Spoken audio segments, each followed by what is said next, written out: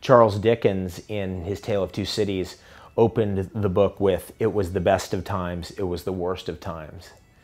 And 200 years later, it's the best time ever, it's the worst time ever. It's both. The public is ill. They're overweight and they're ill. Over the age of 30, almost everybody in this country is sick.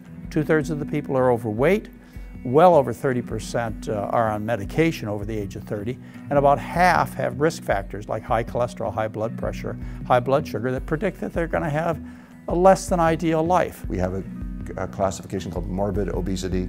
They're now coming up with one called morbidly morbid obesity. We're getting fat. We are the fattest people in the history of the world, and we're getting fatter. My father was a police officer. It was just something he, he kind of wanted me to do right after the first two years on the job. Um, I guess I kind of let my guard down. And I got up to 215 pounds. I was heavy. My whole life I had, I had followed your uh, powdered muscle drinks and thinking that that was, you know, what I should be eating, you know what I mean? And, you know, the, the side of the, you know, you get a tub this big and the side of it, the ingredients are like this. and you know, you don't even know what's in there. It looks like the same ingredients that are in like something you'd find underneath your, your kitchen sink.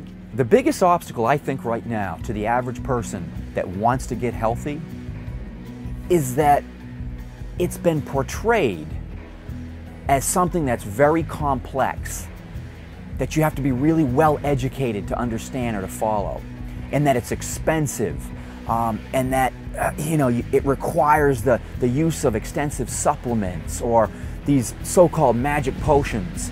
And in fact, it's the simplest thing we could ever follow. I thank my lucky stars that whatever it is that came into my life made me try this because it's the best thing I have in my life is, is the way I eat. And I'm not telling you that I'm right. I don't know if I'm right. I can tell you how I feel.